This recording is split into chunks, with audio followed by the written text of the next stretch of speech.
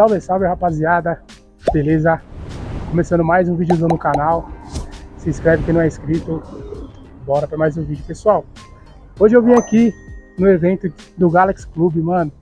E sem mais, sem menos, tô aqui com o Petito, mano. Cara, gente boa demais. A gente tava aqui no evento, quando eu falei pra ele, meu, vamos gravar o seu carro? Falou, bora? Então, galera, é uma coisa que eu tava esperando muito, né? Para poder gravar no canal, porque o Petito, todo o pessoal da cultura lowrider aqui no Brasil são uma inspiração. E como vocês sabem, como vocês acompanham, sou louco para ter um. E mano, sem mais delongas, vamos falar com o Petito aqui. Espero que vocês gostem do vídeo. Se inscreve no canal, ativa a notificação, curtam bastante, deixem nos comentários, tá? Porque realmente merece muito. Fechou? Bora pra cima, galera.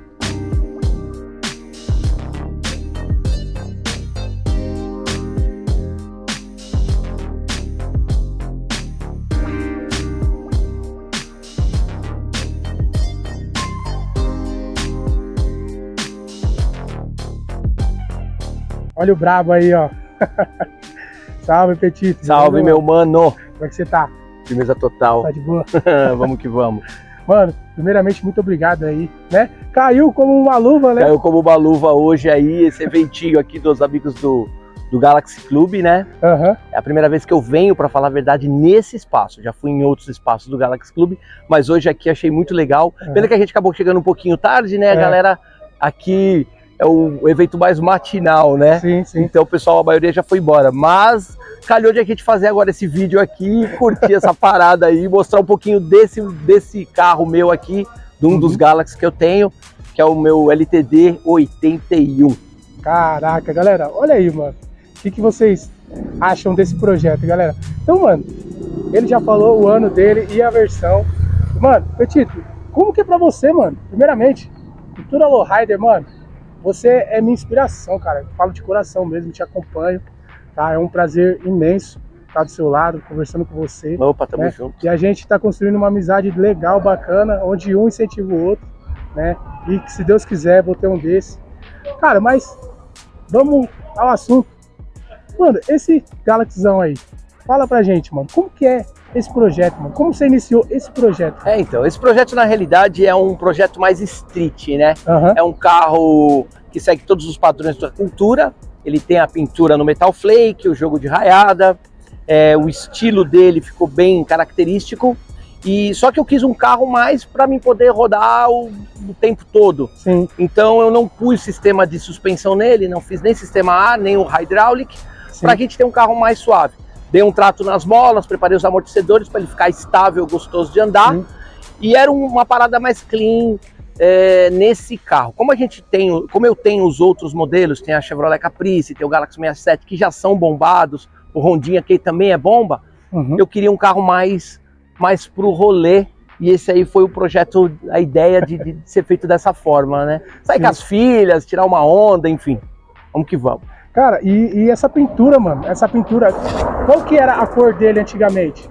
Ele era um vermelho liso, Sim. ele não tinha o metal flake e era um vermelho mais claro, né? Sim. E eu queria um, uma coisa mais escura, um visual mais, mais é, que, que ele não parecesse tanto que ele tivesse o metal flake. Sim. Se você pega ele fora da luz, numa parte escura, ele praticamente parece ser um carro original. Sim. Tanto que eu conservei os filetes padrão da, da, da, do, do, LTD 81, uhum. eu conservei o, o, estilo da grade, capas de farol, tudo num padrão bem clean, para quando você estivesse num lugar mais, mais escuro, num lugar que não aparece tanto, o carro ficasse mais no estilo original. Sim. E aí dei um impacto na hora que vem uma luz, na hora que vem o sol, incida do metal reluzir e a galera, tipo, já dá aquele, é essa? É, já trava, né? Já falou. Ficou uma coisa diferenciada, né? Cara, e a primeira vez que eu vi ele, né, tá até no canal aí, pessoal, foi lá no CTN, que ele tava com as 20. Sim, sim. Né? Eu montei ele primeiro com o jogo diário 20. Mas não tem jeito, né? A origem da cultura a gente vive, né? E as 14, as 13 são a inspiração, né, do, do, visual, né? Sim. Aí eu queria mudar as rodas, não teve jeito. Aí eu pus Sim. as 14 dele. aí pus as 14. Cara, eu vi bastante diferença quando você colocou essas 14, mano, porque as 20 são bem grandes, né? E essa daqui já, meu, casou perfeitamente. É, essa deixou o carro ele mais baixinho, Sim. deixou assim mais mais agressivo, vamos dizer. As 20, a 20 estava bonito, Sim. ele estava num visual bem legal. Ele fica mais. É, um carro mais no estilo, entre aspas, Donk, né? Sim. Aquele visual mais Donk, mais cheio. Tudo bem que os Donk andam com rodas é, 26, 30, 32 até. Mas ele fica, um, o Galaxy em si fica com um visual mais, mais cheião, mais Donk. Mas eu curto aqui, não tem ah, jeito. não tem como, mano. E como que é pra você andar com ele na rua, o sistema dele, que você fez ele bem street, conforme você falou no começo.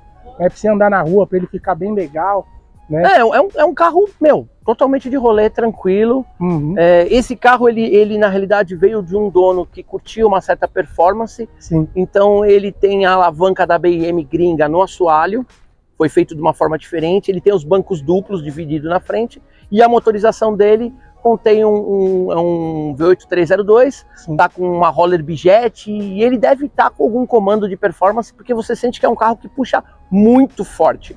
É um motor que você crava o pé, o carro cresce a aceleração, Anda bem. anda muito legal. Então por isso que eu quis ele mais street, Sim. justamente por conta disso, por ser um carro mais, mais social, vamos dizer Aham, assim. é. Você fazer um rolê, uh, quer um rolê um pouco mais longe, porque num carro hidráulico você tem muita dificuldade de você eh, deslocar. Às vezes até o pessoal fala, ah, os carros lowrider não aparecem tanto, não são vistos, é mais nos eventos.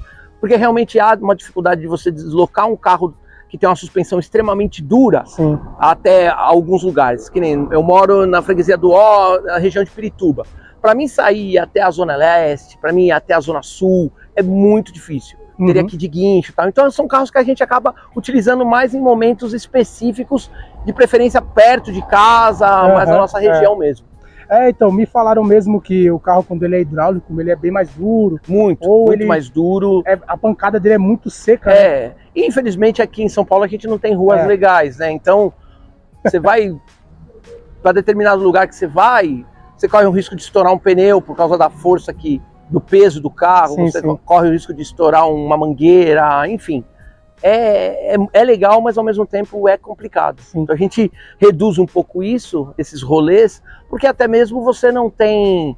Hoje é muito difícil o equipamento, a manutenção está muito mais complicada hoje em dia, porque tá bem difícil de trazer as peças da gringa, importar, tá tudo muito caro. Sim, sim. Então a gente começa a ter um certo cuidado a mais para não para não detonar o carro, né?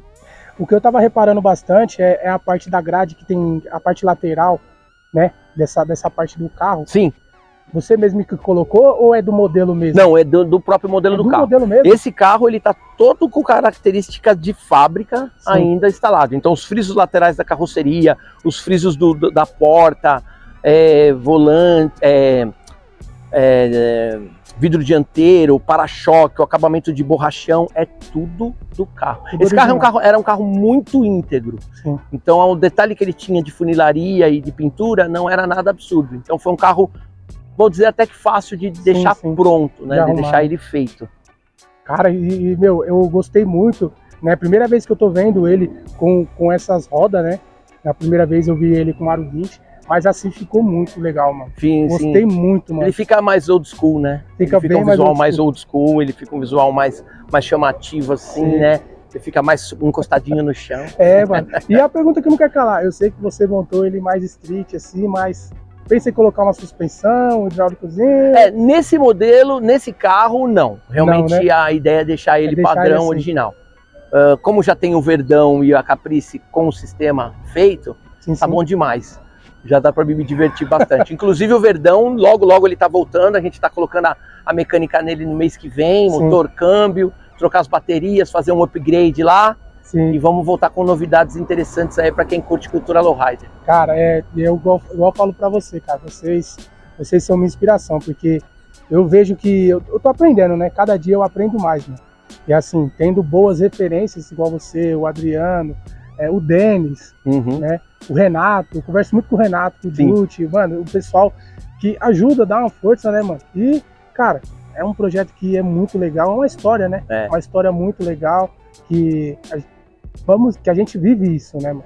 É muito legal. E assim, creio que antigamente era bem mais difícil o acesso, mas Sim. hoje, hoje É, hoje o acesso é mais prático, mas em compensação É. o custo é maior.